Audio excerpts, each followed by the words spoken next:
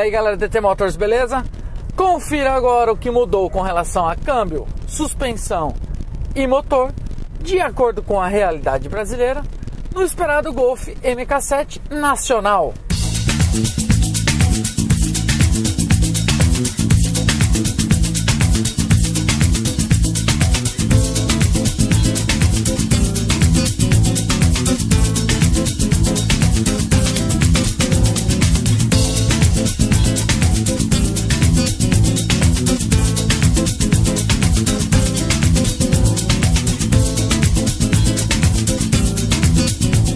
Galera, infelizmente ou felizmente houveram algumas mudanças nesse carro.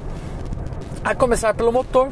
Ele abandonou na versão Comfortline o motor 1.4 turbo e ganhou o motor 1.6 16 válvulas de 110 cavalos na gasolina e 120 cavalos no álcool, ambos a 5.750 RPM, com um torque de 15,8 na gasolina e 16,8 no álcool a 4.000 RPM. É o mesmo motor usado na família Fox Fox Pepper, Cross Fox, Fox Highline, Saveiro Cross, enfim. É... Trata-se de um motor moderno da mesma família EA211 do 1.4 turbo e possui um funcionamento suave e silencioso mesmo em altos giros.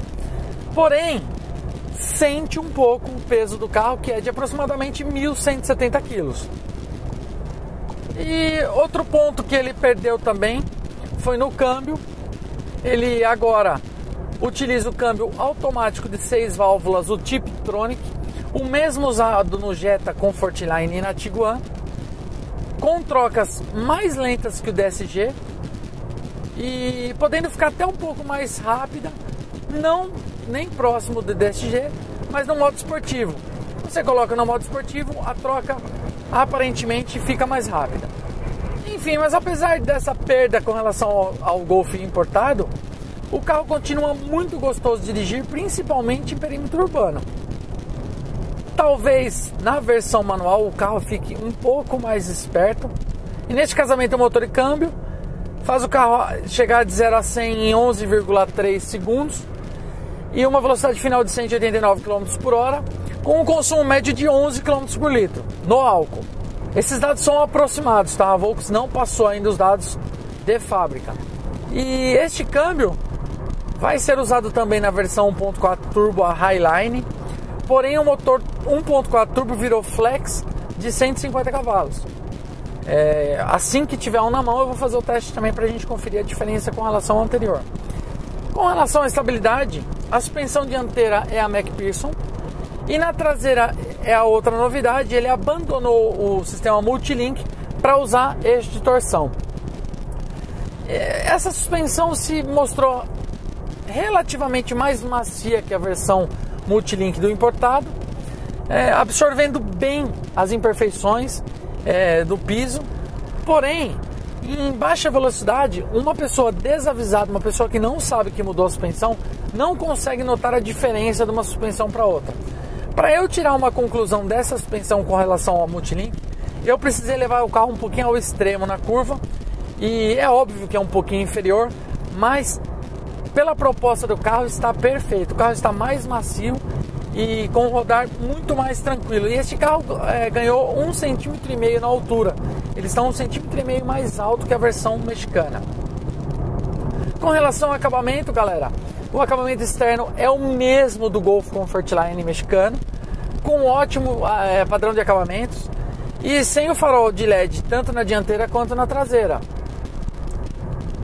Que é a mesma coisa que na versão de entrada do mexicano. Internamente, o acabamento é o mesmo do Comfortline importado também, com tecido de qualidade nos bancos e painel que imita é, aço escovado e segue o mesmo padrão de acabamento com ótimos encaixes e ótimos materiais.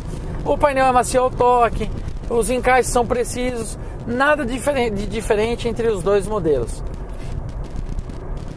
Porém, o sistema Start-Stop, que até então era de série na versão do Golf, em todas as versões do Golf, desaparece nessa versão 1.6, bem como a transmissão DSG de dupla embreagem, a suspensão traseira independente, como já citado. Galera, estamos com a versão básica do carro com um pacote de opcionais bem amplo, que inclui volante com comando de som, do piloto automático, borboletas para trocas de marchas atrás do volante, rodas de aro 17 polegadas, retrovisores fotocrômico, interface para iPod e entradas para cartão SD. Esse carro tem o teto solar e o Park Pilot, que sensor de estacionamento dianteiro e traseiro e o carrinho aparece aqui no rádio, bem bacana por sinal. Vou fazer uma curvinha aqui para vocês sentirem que o carro não mudou muita coisa.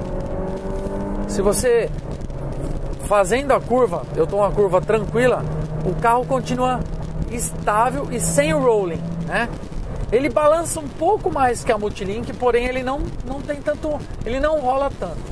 Galera, o carro, como eu disse, em, em uso urbano é bem bacana. O câmbio se mostra bem eficiente. É, ele é um câmbio bom, ele tem as trocas que é, você não sente também. Enfim, mas a gente só vai ter noção se o carro sente o peso ou não, se ele é bom de 0 a 100 ou não, fazendo 0 a 100. Vamos lá?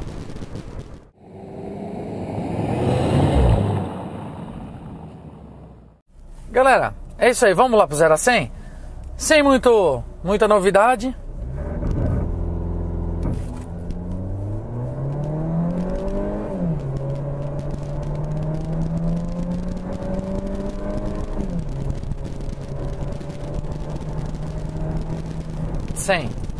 Galera, bom o carro, tá bem na, dentro da faixa dos outros carros concorrentes, como Focus, Peugeot, enfim, 11.52. É isso aí, galera.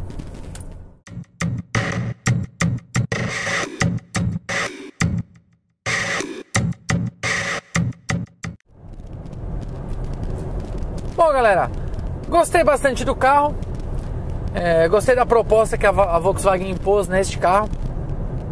E para a galera que é fã dos Golf, este carro manteve a qualidade geral que fez o, a, a, fama do Golf mundo afora, tá?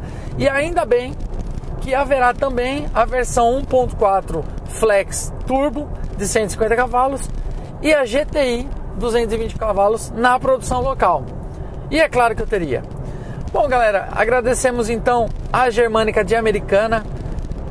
Precisa de um carro, fale com a Valdete. A Soraya gerente é muito bacana também, é bem flexível. E este carro está lá para test drive. Se você quiser conhecer e tentar sentir este, essas mudanças diferentes. E galera, muito obrigado por assistirem meus vídeos. É, gostaram? Dê um like, compartilham o vídeo para ajudar a gente a crescer no canal. Clique em gostei, se inscreva no canal para ser um dos primeiros a receber todas as matérias. Tem muitas novidades vindo por aí. E não se esquecendo que se beber não dirija. Celular não combina com direção. E se você quiser correr, autódromo é a melhor opção. É isso aí, galera. Muito obrigado. Valeu. Fui. Thank you.